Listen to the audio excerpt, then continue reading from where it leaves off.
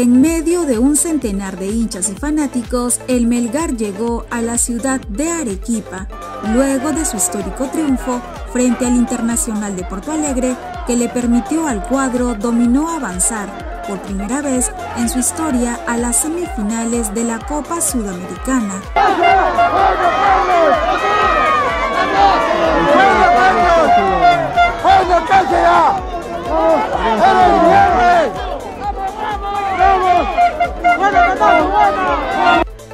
Cariño del hincha estuvo presente en el recibimiento a los jugadores que vienen haciendo historia no solo en su club, sino en el fútbol peruano.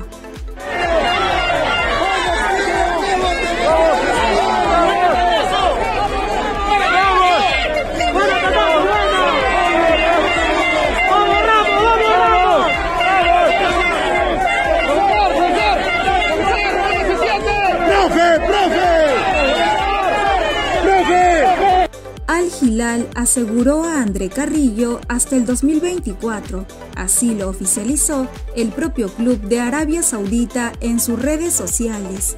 La culebra es azul hasta el 2024.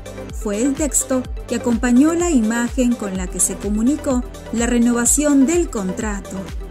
Cabe indicar que hoy Al Hilal se midió en un amistoso ante un combinado del Nottingham Forest de la Premier League y el conjunto de André Carrillo goleó por 6 a 1.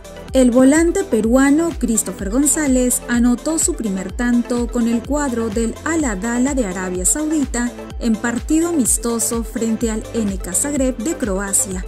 Recordemos que Al Adala debutará el 26 de agosto frente al Al Ittihad club por la primera jornada de la Liga Profesional Saudí.